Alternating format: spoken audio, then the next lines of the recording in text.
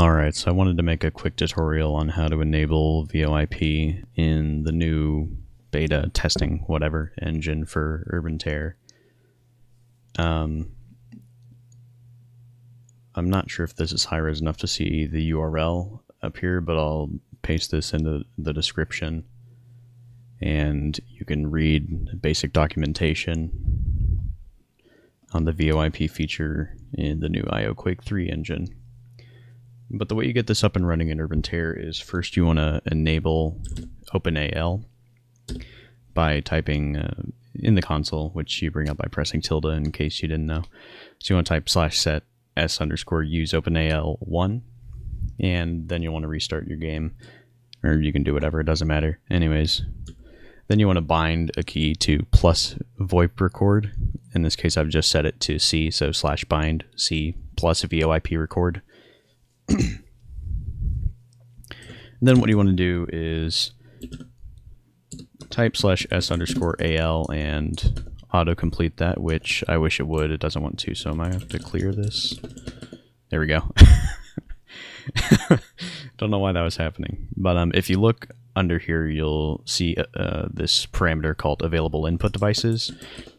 And you can autocomplete that and it'll return the different substrings it finds of your audio input devices. So in this case, the one I want to use is UMC202HD 192K analog stereo. That's just the audio interface I happen to be using. So I'm going to type slash S underscore AL input device.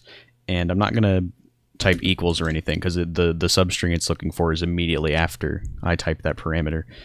So I would just type UMC 202HD 192K analog stereo exactly as it appears under AL available input devices. so I'm going to confirm that. Uh, then I'm going to restart my game. On Linux, I had some problems with OpenAL uh, throwing some errors early on, but I just...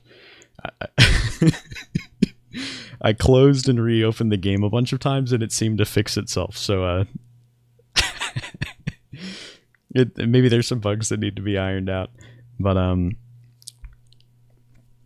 after after you do all that and you restart it or whatever, hopefully when you press your little C key, you see there's like a little VU meter in the top that shows that my voice is coming through. And I might have to turn up the gain on it, it looks like.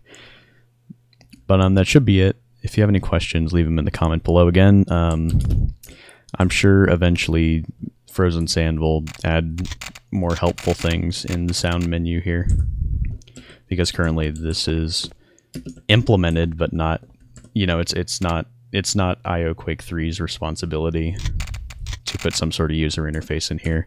That's Frozen Sand's job for now. Anyways, um, I haven't found any servers yet that actually run this, but if you want to if you want to stay ahead of the curve, there's your little tutorial. All right, peace.